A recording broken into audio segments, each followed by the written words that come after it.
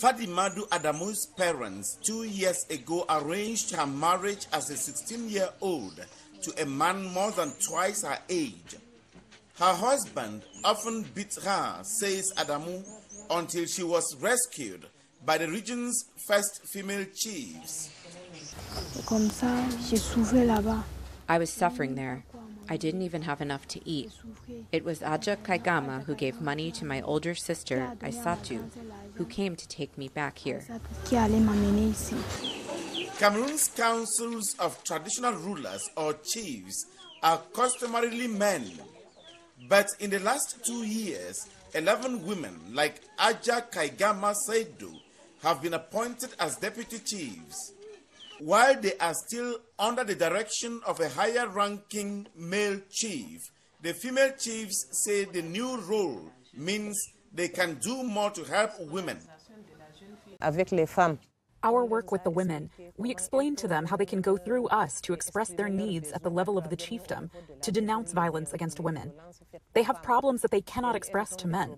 It is through us that they easily express their needs.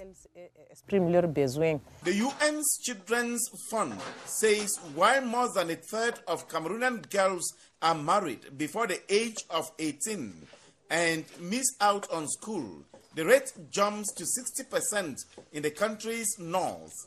Student Aisatu Chanigi got pregnant when she was 15 years old.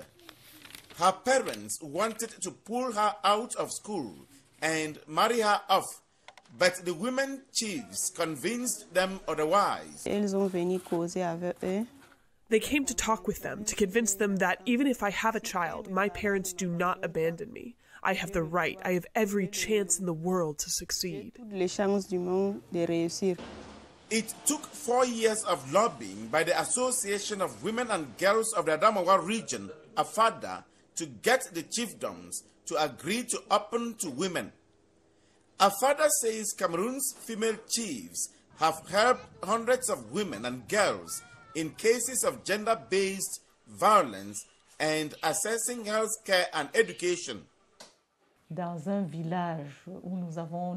the villages where we now have women chiefs, the feedback we have received from the schools is that the enrollment rate of young girls has increased by 40% for this school year. AFADA says they will continue to push for more women chiefs to reduce Cameroon's gender inequalities.